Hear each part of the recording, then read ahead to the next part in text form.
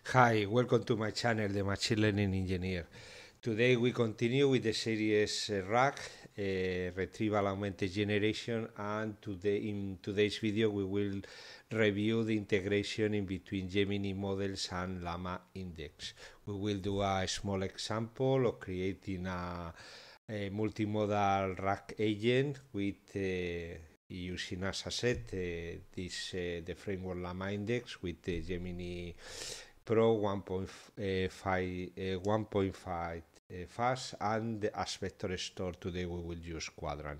As usual i have created a notebook and later on i will upload to the repo and you will be able to uh, download and use in your local environment what more i'm working in local uh, we don't need any special special requirements. I'm working in in windows system linux with debian 9 with uh, python 11 and here i pass you all the libraries you need to replicate this on your local environment.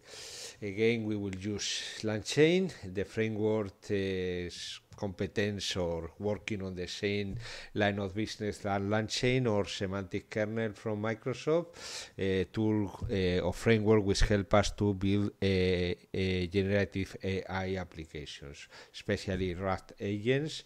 These uh, three libraries are designed for that purpose. And today, as I mentioned before, we will create a, an example using uh, Llama Index, Qdrant another uh, vector uh, similarity search engine and vector database uh, similar to Face, Chroma,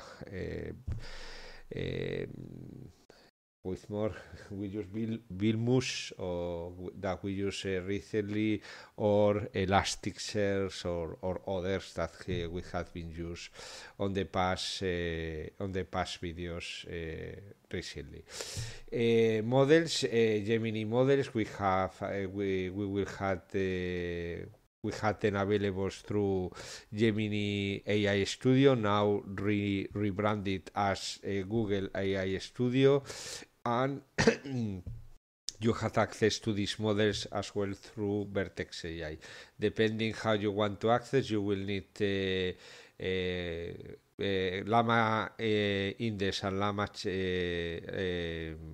and LangChain are integrated with both SDKs. Today we are going to use the SDK of the of the old Gemini AI Studio. For, for that, you will need to have uh, a key. You will need, if you don't have one, you, you need to create an account on the Google AI Studio. Remember that this has changed and generate a key. This key is the only thing that you need to um, to to uh, complete this uh, this tutorial or this video in your local environment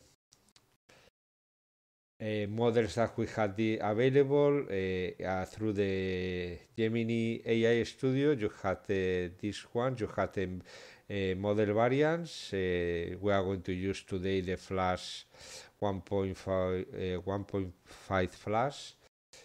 We can work with audio, images, videos, and text, and using the one if you are under these limits uh, you will be able to use it for free. In any case, I recommend you to open an account at pay as you go uh, because, well, even if you spend a little bit more than this, it's gonna be peanuts, nothing. Uh, very, very easy.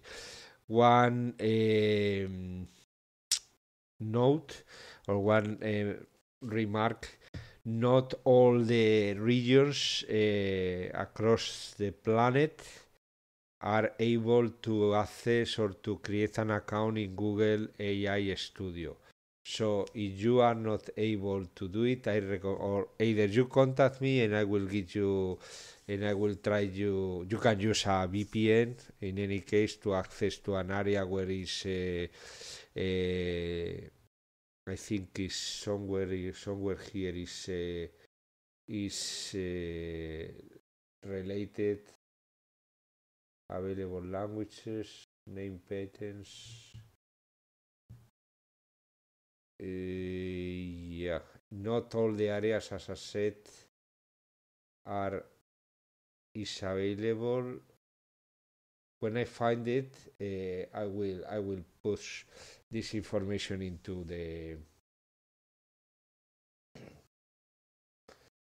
into the documentation of this of this video. Gemini text generation, semantic retrieval. Well, you have here some examples. Exactly, available regions. So available languages and available regions.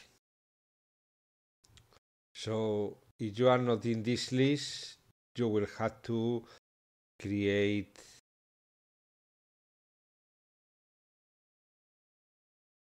as you can see United Kingdom is not uh, included.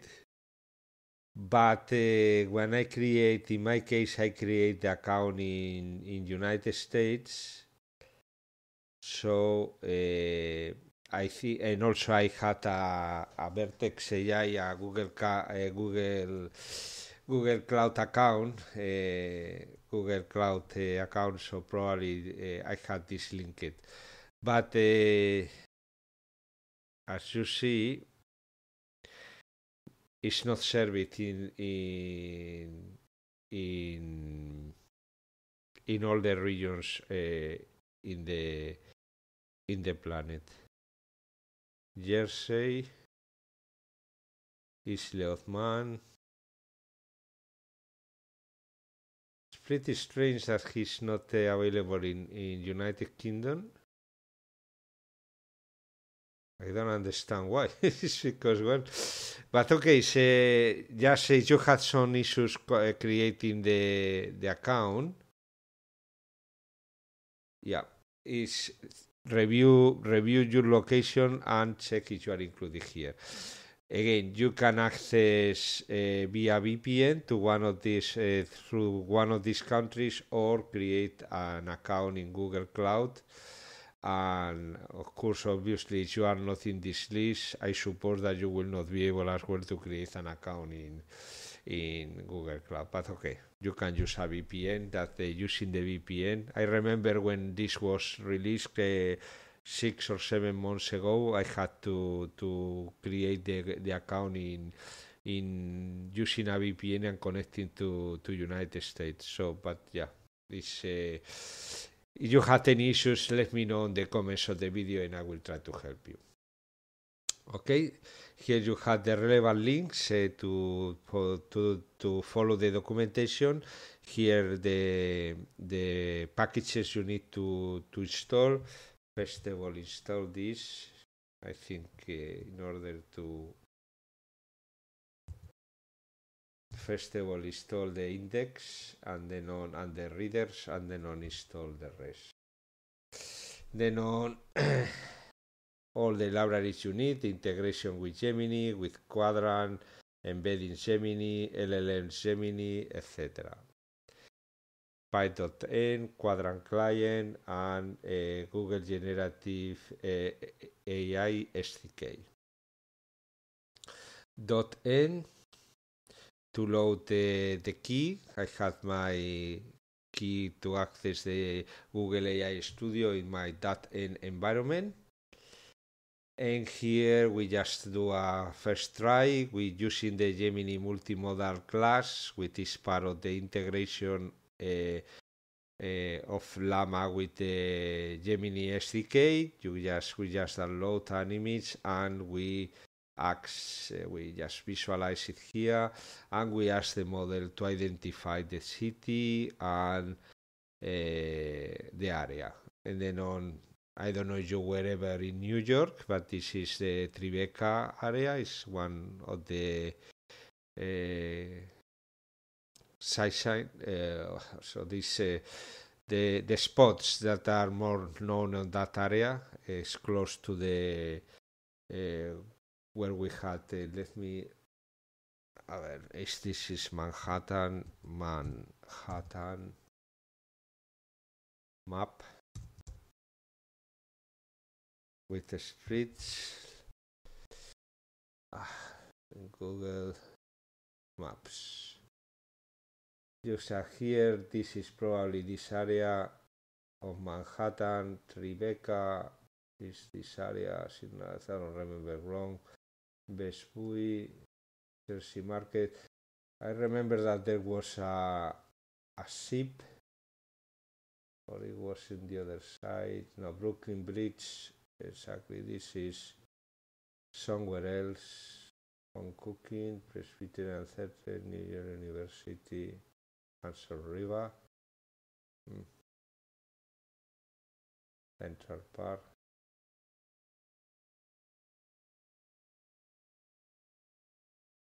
Yeah, it's one of the Chelsea Market, Limited Thailand. I don't know what. Well, it's in this area. Uh, one of these, uh, I don't know if they, they recognize even the street. Footbridge to building Franklin Street. Franklin Street. Uh, where is uh, Franklin Street?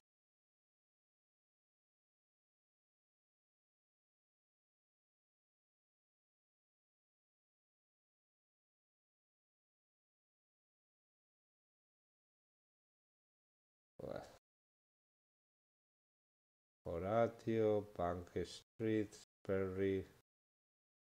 Okay, well, I will find it. When I find it, I, I will let you know. The lodge. As, at some point here, chamber. No, this is too, too much in the south.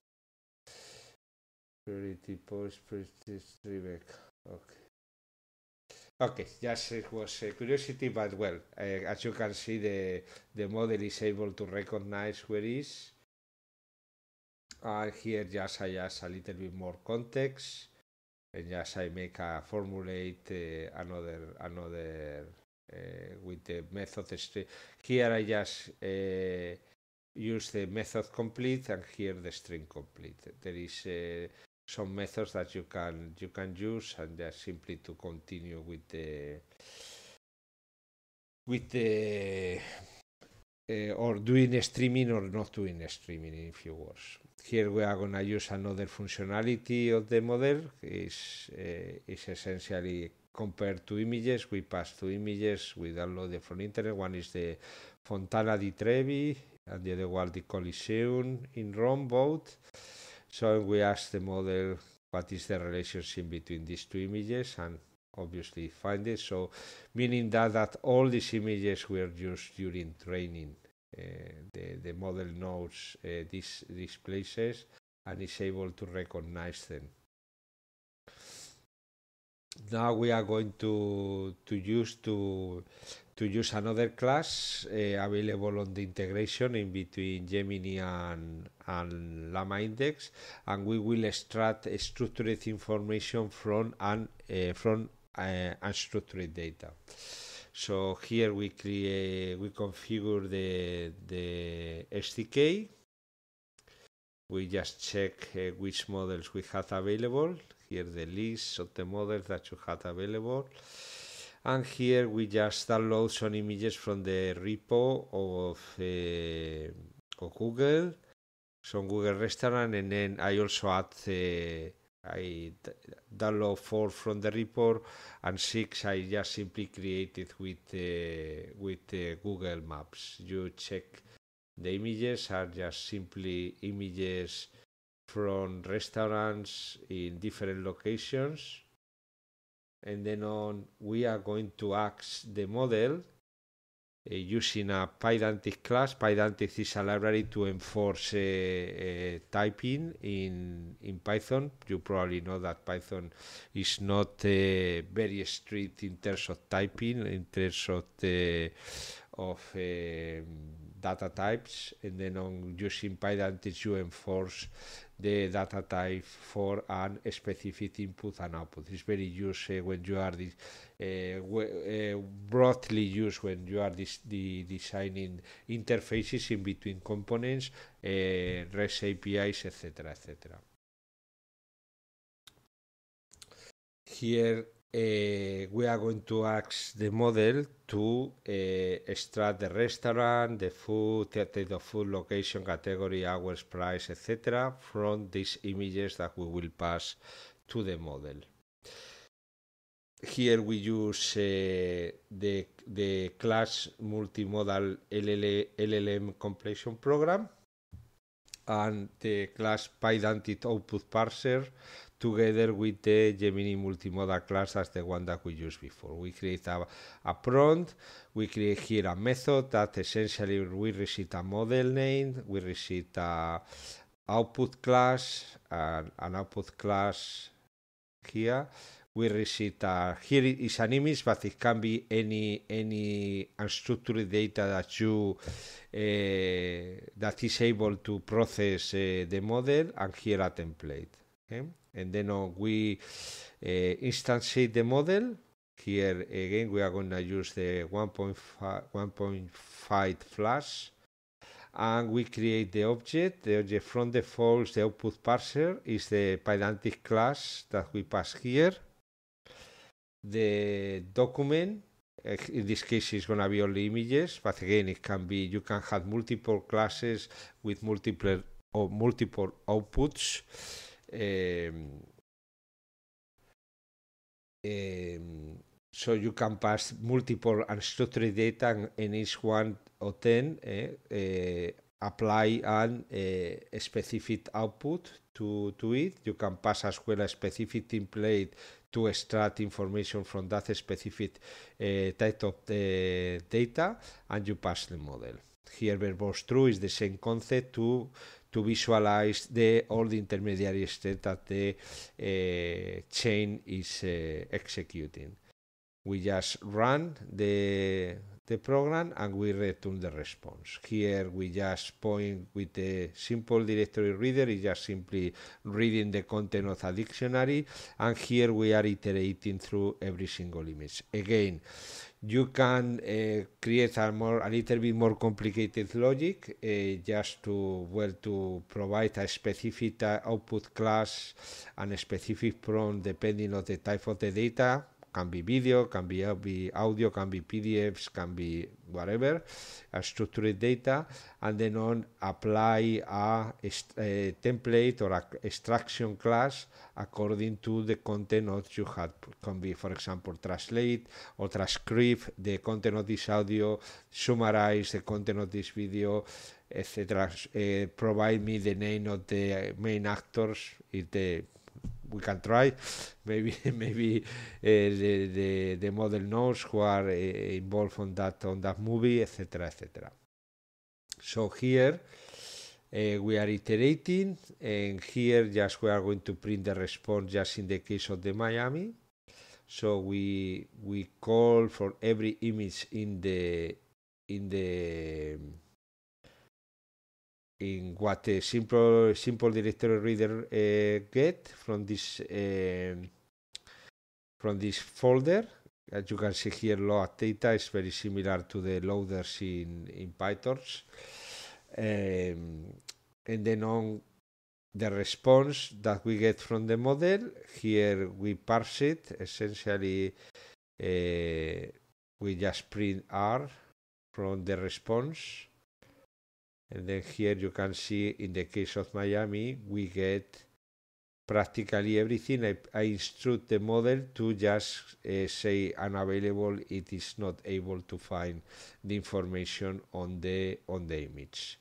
So you can see here we have 10 images. So it has created 10 different objects of the class Google Restaurant where the information were not available is not uh, is applying the default un unavailable. Now with the 10 objects we create 10 uh, uh, so we transform the Google Restaurant object into text node with the purpose of later on include it in the vector store. Now we instantiate our vector store. Uh, we create a Qdrant client. We are gonna tell you can uh, write here a path to serialize. No need uh, to serialize if you don't want. You can just keep it in memory. Uh, here we just if you don't specify a path it will be just created in memory this vector store works very similar to the others that we use on the on previous videos so there is no no need to to go further in explaining how it works. So client collection name collection we create a vector store. We apply to the settings our uh, embedding models. We use as well and uh, the models embedding 001 through the Gemini or the Google Studio API our model the storage context is going to be from the default using uh, the vector store that we have created here. And here we just simply pass the nodes we add the documents to the uh, vector store index. In the next uh, cell we are just using the vector uh, the index as query engine. We will return maximum two documents the two more similar uh, documents and we make a query you can again you can use your own unstructured data. Here we use these images. You can use others and create your own uh, data classes data classes and make your own uh, queries as you can see here. Well it's just an example how you can integrate these technologies. My objective was to show you how uh, these technologies are simply and easy to integrate like we like we similar to what we saw in previous videos using LangChain with uh, also with Gemini, with OpenAI, or with other technologies acting as a as an LLMs, and with the objective of creating uh, RAG agents. In this case, we working as we are working with a multimodal model. This what you uh, saw here. You can apply it with some changes to other uh, type of multi uh, unstructured data. As I said, videos, audio, images, PDFs, text, and you can create a, a tailored data uh, base uh, or classes, uh, Pydantic classes to extract the content of the, that you are interested with uh, from that uh, specific data type. And then on you can all of them uh, once you have extracted you can as well create a summary. One of these can be just uh, extrude the model. For example, we can create an attribute that uh, create a small summary or a description in in in I don't know. Uh, 200 uh, tokens maximum of what uh, it is the restaurant uh, looking at, uh, at what they find in the on the on the image and then on uh, the same we can do with other kind of the uh, unstructured data. And then on once you have all this information in the vector store you can use it as a as a retriever and use it as context to uh, answer questions in a RAG uh, component. Okay that's all. That's pretty much all as you can see it's pretty simple to use very similar in concept well in concept is in my opinion practically the same than uh, than uh, LangChain. In my opinion, is a little bit more advanced. Uh, Llama Index is, in my opinion, easier to use than LangChain. But well, they are the two main competitors. Again, more a little bit more mature LangChain, in my opinion but well, it's just my opinion. Uh, semantic kernel, the third uh, framework I, I know, uh, is a little bit on the back still uh, still uh, need to to to create a lot of the integrations to in order to be at the same level that Llama Index and LangChain but okay they, they, they will get that point. point and that's pretty much all I will upload now the, the video to the repo uh, sorry to the, the notebook to the repo and you will be able to to replicate what you saw here on your local environment. And, and, again that's pretty much all. Thank you very much for watching the video up to this point. I hope that you find it interesting and useful for your job for your training for whatever reason are you watching this video. And if so just hit me a like subscribe to the channel if you didn't if you are not already subscribed and make comments and share with your friends and colleagues in order to help me to grow in youtube. Thank you very much and see you soon